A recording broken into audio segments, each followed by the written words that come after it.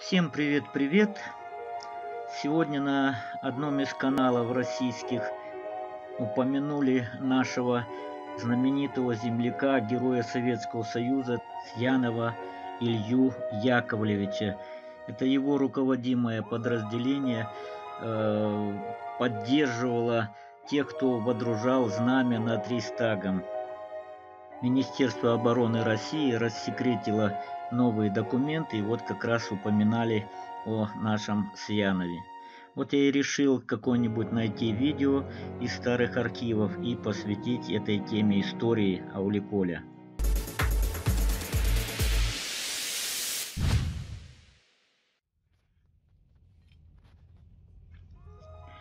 Ну и нашлось э, этого года видео, зимнее видео, вот, белоснежный чистый ауликоль. И вот улица Ленина. Э, кстати, бывшая уже улица Ленина, да, которая соседствует с улицей Сиянова. Во второй половине 19 века, вот на территории, где сейчас располагается Ауликоль, э, было населенный пункт Жакейкин аул. Первые переселенцы появились где-то в конце 80-х годов 19 века.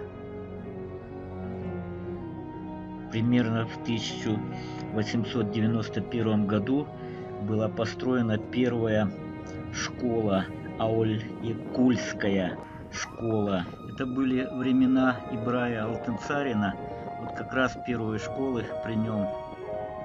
Сначала там учились одни казахи, а уже где-то в 86 году уже и русские. 25 казахов и четверо русских начинали, вот, ну, продолжали, когда переселенцы появились. А сельская община из переселенцев образовалась где-то в 1897 году. Число переселенцев росло, и ну, наделы, в общем-то, нарезались наделы с, Кустанай, с Кустаная, это был Кустанайский уезд, приезжал землемер и вот делал такие наделы каждому. Примерно в 1901 году официально вот было названо э, село Семиозерное. Это вот официально были оформлены документы, и вот появилось село Семиозерное. Появились Юльевка, Черниговка, Харьковка, Тимофеевка.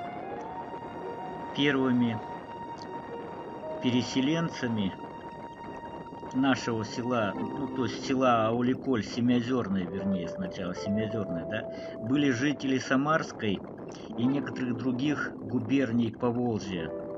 Это были э, братья Сьяновы, братья Губаревы, Холодковы, Сазоновы, Петровы.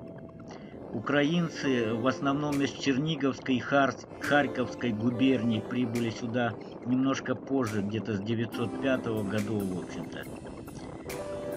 Заселялись со, э, примерно сначала со стороны улиц Озерная, Октябрьская, Кустанайская, Ленина, вот, Пожарная, Самарская была улицы. Вот. Например, улицы Зеленого Клина совсем не было. Э, вокруг Комсомольского озера стояли кузни. На южном берегу этого озера была паровая мельница казенная. Вот. В 23 году она сгорела.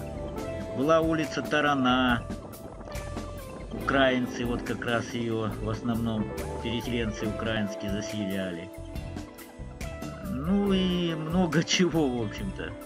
Белая мельница в селе появилась в 23 году.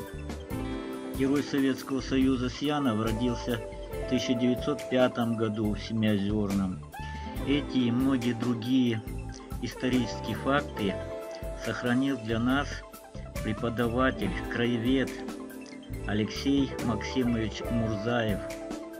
Он очень много собрал информации. Сам он родился в одиннадцатом году в селе Семиозерное Кустанайской области, в селе Крестьян, переселенцев, он переселен, они переселенцы были с Самарской губернии, вот. Отучился в школе Семиозерной, и вот очень много было им публиковалось исторических фактов о селе, о районе, в различных газетах и так далее. Э, воевал, участник Великой Отечественной войны. После 45-46 году э, был директором школы в Семиозерном.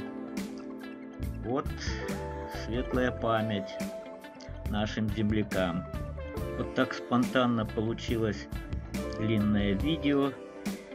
Очень интересная судьба Губаревых, Сьяновых и многих тех, кто переселенцами появился в селе Семиозерном. Кому будет интересно, продолжим. Очень много видео есть по озерам, которые будут в ближайшее время публиковаться. Всем спасибо, подписываемся. Всего доброго, пока-пока. И с наступающим Днем Великой Победы всех!